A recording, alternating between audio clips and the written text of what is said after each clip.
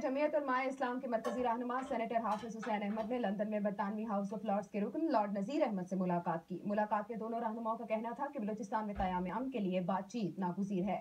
मुलाकात का तफसीली अहवाल जानते हैं मोहम्मद रफीक मुगल से। लंदन के मुकामी रेस्तोरान में हाउस ऑफ़ लॉर्ड्स के ताहयात रुकन लॉर्ड नजीर अहमद ने सेनेटर हाफिज हुसैन अहमद को मदू किया तो दोनों रहनुमाओं में बलोचिस्तान में क्या अमन का मसला मौजूद सुखन रहा। हाफिज हुसैन अहमद ने कहा कि बलोचों को बातचीत पे आमादा किया जा सकता है मगर नतीजा खेज सूरत हाल के लिए बाख्तियार जिम्मेदारों को अपना किरदार अदा करना होगा। क्या किसके पास अथॉरिटी है? कौन बात करे? और जो लोग बात करने आए थे, वो बेख्तियार थे। जिनके पास इख्तियार है, अगर वो मामला को हल करना चाहते हैं तो कोई दुनिया में ऐसा मामला नहीं है, जिसका सोल्यूशन जो है वो सामने नहीं निकल सके। इसलिए मैं समझता हूँ कि इन मामला को तय करने के लिए हम मैंने एक तजवीज़ भी दी है, और अभी मैंने लाट साहब से बात की है, खान साहब को भी मैंने बात की है, कि मस्कत है, ओमान है, दीगर मुसलमान ममालिक हैं। और मैं समझता हूँ कि मामला को बिठाए उनसे बात करें। और फिर इस तरह हमारे बलोच रहनुमा बैठे हुए हैं। हमें पता है कि खाना अफकलात साहब किस वक्त निकले हैं। और उस वक्त सरदार तरमेंगल साहब अभी मौजूद हैं। सनाउल्ला जहरी साहब आज चीफ मिनिस्टर बलूचिस्तान हैं।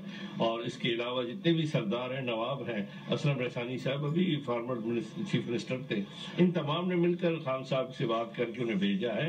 आज ही जगह बुलाया जाए, इनसे बात की जाए तो मैं समझता हूँ कोई ना कोई सोल्यूशन निकलेगा हाउस ऑफ़ लॉर्ड्स के रुकन लॉर्ड नजीर अहमद ने कहा कि पाकिस्तान मुआशी तरक्की की राह पे गामजन है। जहाँ फसाद हो वहाँ तरक्की का पहिया नहीं चलता। बलूचिस्तान के भाइयों को मनाना कोई मुश्किल नहीं। उन्होंने कहा कि वो बरतानिया में मौजूद बलोच रहनुमाओं से बातचीत के लिए तैयार हैं। कोई भी दुनिया की जो भी तहरीकें होती हैं जहाँ पे कोई झगड़ा या फसाद होता है, वहाँ पे इकोनॉमिक डेवलपमेंट नहीं हो सकती। तो इकोनॉमिक डेवलपमेंट को करने के लिए अगर आपने उसको कामयाब करना है तो उसके लिए आपको अमन की सख्त ज़रूरत होती है, ज़रूरत होती है। और आप, मैं खुल के कह सकता हूँ, फौज पाकिस्तान की फौज चाहती है कि अमन हो। मुजाकरात के ज़रिए ही होगा और उनको उनको ऐसे लोग चाहिए, जिस तरह हाफिज साहब हैं, मैं हूँ, खानम कल्लात हैं, दूसरे हमारे दोस्त हैं।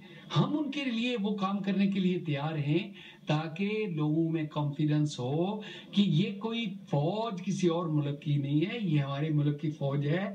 इनके साथ डायलॉग करना कोई मुश्किल बात नहीं है, उनके साथ बैठ के हाँ अगर वो क्लोज बिहाइंड क्लोज डोर्स गुस्से में हम एक दूसरे को बहुत कुछ कह सकते हैं, लेकिन पब्लिकली नहीं करना चाहिए। ज़रूरत इस अमर की है कि बलूचिस्तान के रहनमा खान आफकुल्लात मीर सलमान दाऊद जान को जिस जिरगा ने इंटरनेशनल कम्युनिटी के पास भेजा था, वो बातचीत के लिए बैठे तो क्या मैं अमन के लिए पेशरफ हो सकती है। कहा जाता है कि बलूचिस्तान का अमन पाकिस्तान का अमन है। यहाँ पर इस मीटिंग में शरीक रहनुमाओं का ये कहना था कि पाकिस्तान के अरबाब इकतदार और इख्तियार अगर तवज्जो दें तो पाकिस्तान के सूबा बलूचिस्तान में अमन और पाकिस्तान में इस्तेकाम कायम हो सकता है। Mohammad Rafiq Mughal Dunya news London. London में इंटरनेशनल लॉयर्स